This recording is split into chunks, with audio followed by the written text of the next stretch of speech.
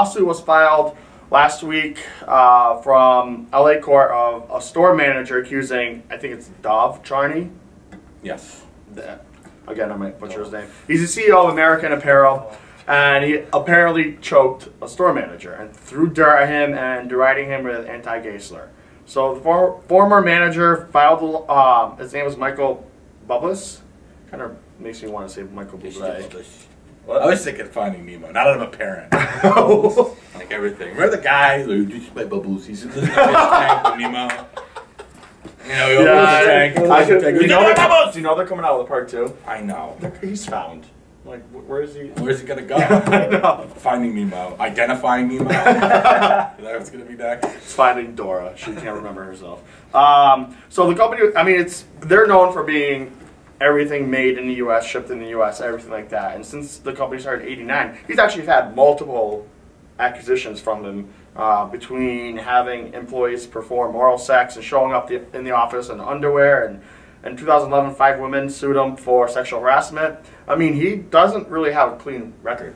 How does he, this guy keep going? That's my question. You know, he's like the Playboy CEO here, right? Yeah, it's. I mean, Do whatever, say whatever. Well, have you actually read this guy's record? Because when you sent me this story, I went back just to, just just for giggles to look at it, and there's some pretty amazing stuff. I mean, this guy is crazy. yeah. Like we're not just talking like, hey, sweetie, you know. mm. we're not talking about you know doing pistol fingers here. I mean, we're talking like, you know, some heinous stuff, Yeah. and it just it gets to a point where you know there's so much smoke at a point.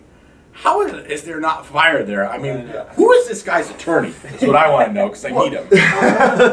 but I mean, that's I, how does this guy get off? Because this stuff is crazy. Well, I mean, I, I don't know. I mean, in the sense of the company, isn't there a board of directors? Isn't there? How can you be? Re, how can you still be running the business Continue these. with all these? Yeah, I mean, doesn't for the better of the business? Isn't there someone that says, "Hey, you know, get out of office or get out of here"? I mean, one of the things he called Bublis was a wannabe Jew, and I, I don't understand like why. How does that work? He's I- Jewish, correct? Yeah, Well, the Charney is Jewish, not Bublis. Is Okay. Bublis Jew? I don't know if he is, but he uh, Charney called him um, a, um, an anti-gay slur, and then called him a wannabe Jew. Which, for me, I don't understand how that.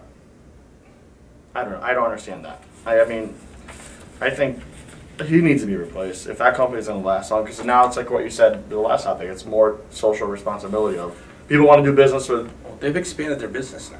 I mean, they're not doing. I mean, the business model there has evolved a lot. Now they're involving families, kids, Yeah. Yep. and clothes. And if you're mom, you know, and you're taking your kids, much rather go to an Evelyn's at this point Right. Yeah. than this place. So I mean, it's it's it's getting bad Or for JJ probably.